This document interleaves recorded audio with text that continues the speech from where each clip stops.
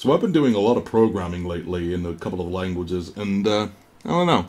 I thought it would be interesting to just talk about Lua, which you can not only program with inside of uh, MAME, but it's also possible with FB Neo. I think that was made possible, you know, a while back. So you can totally do that. Um, so what is Lua? Lua is a programming language that's usually used in conjunction with other languages uh, for like additional features. So for instance, uh, for instance, if you ever go onto Fightcade, right, and you go into training mode, that's actually what's happening. Those are Lua scripts. They're being run in order to accomplish certain things, right? So stuff like, oh, give the characters infinite health or, you know, fucking display inputs, shit like that. Um, so I thought it would be interesting just go over the very, very, very, very basics of Lua, how to make a script and run it in Fightcade or, you know, MAME or whatever. The process is much the same with MAME. You can just press Control L when the when the window is open in order to open a, a Lua window. It's actually quite simple. So okay, here's our example. In the game Street Fighter 3 New Generation, by setting this address to the value 06, you can select Hugo, right? I'm not sure why that value specifically. Uh, usually character IDs are not like that, but anyway. So, that's what we're going to do.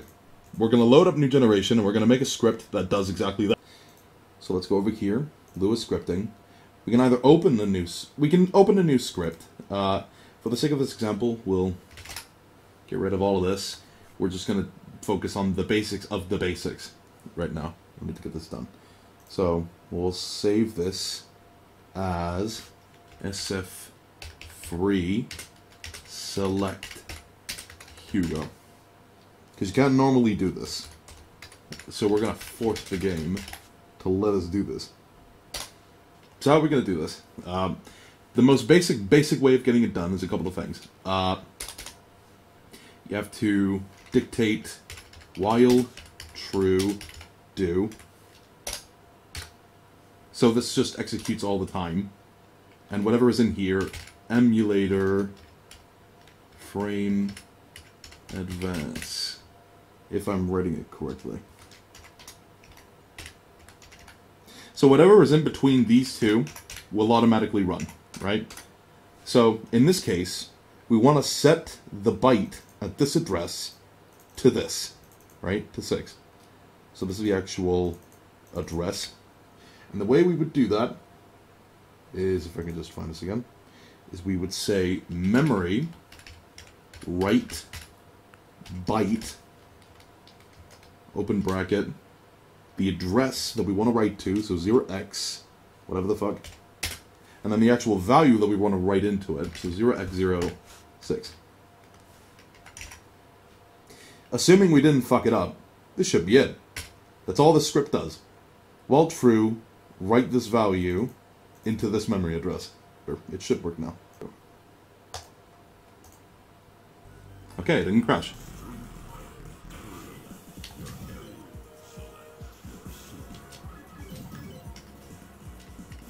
as we can see, we can now select Hugo.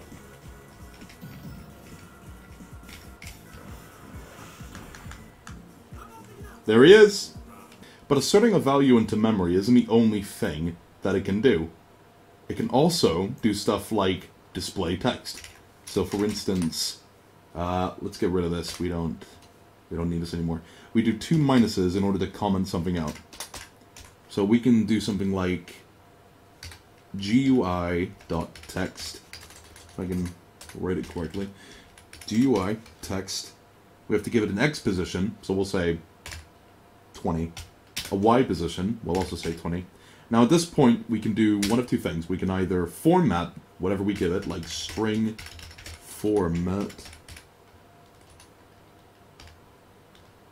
We'll say uh, car select value equals, then we can write percentage, and then whatever we want to parse it as.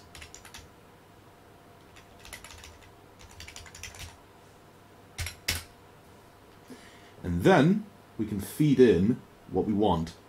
Um, so, for instance, let's uh, let's say we want to constantly track the ID.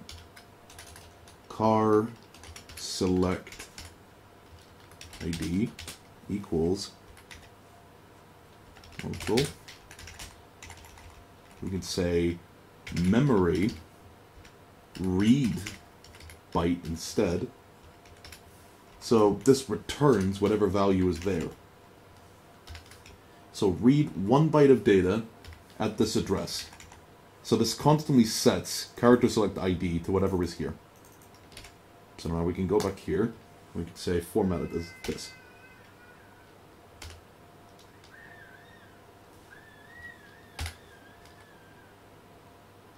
So this percentage D, this actually means to format whatever is here.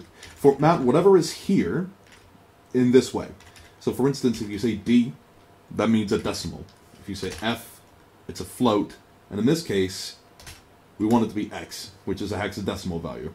So now, when we run the script, it shouldn't assert the Hugo value anymore and should instead just constantly display whatever the value is. So if we restart the game,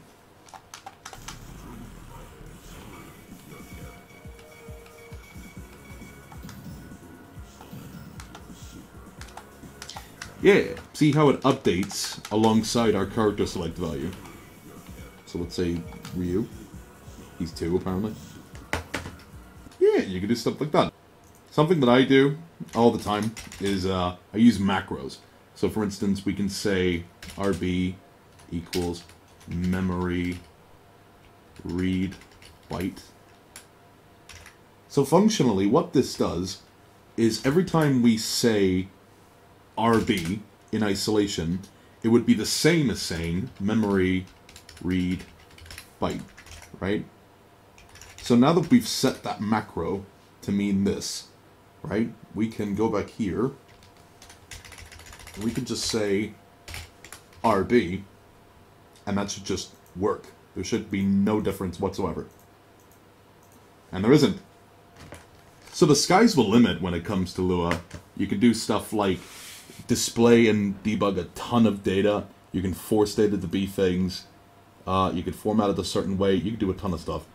Like, for instance, um, I'm doing a reverse engineering project for Darkstalkers, and so I made this script for it. You don't really see much of anything, just because, you know, you're not actually in a game.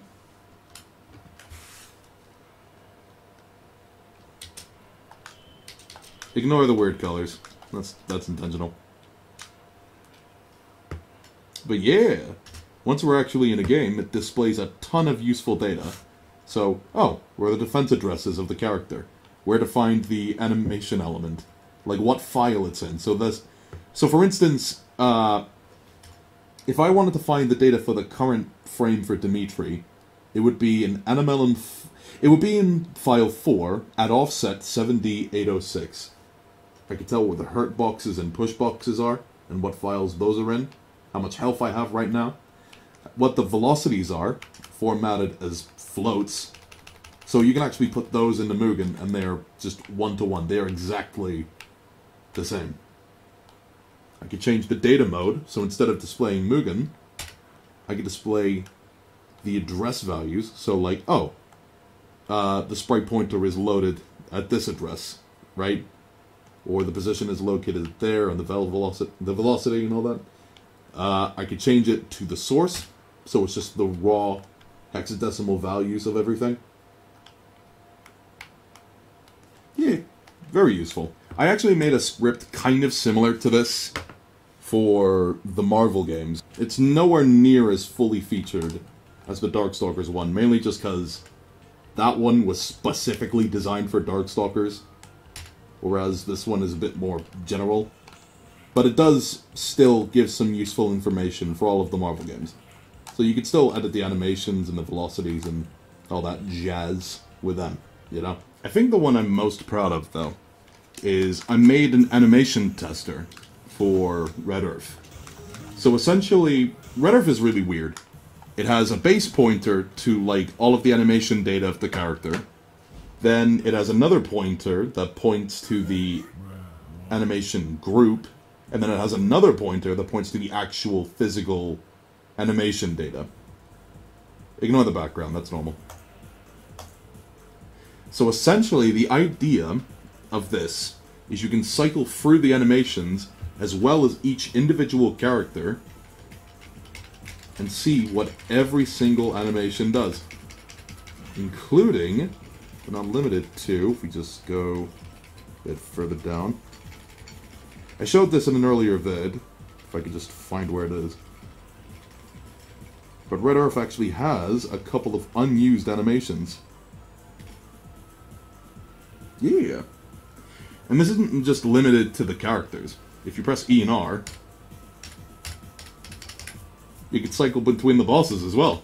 But yeah, Lua's pretty cool. If you have any questions, let me know and I'll try my best to answer them, but make no mistake, I'm not exactly a Lua expert. I just, I know enough to get shit done. You know what I mean? Anyway, have a good day.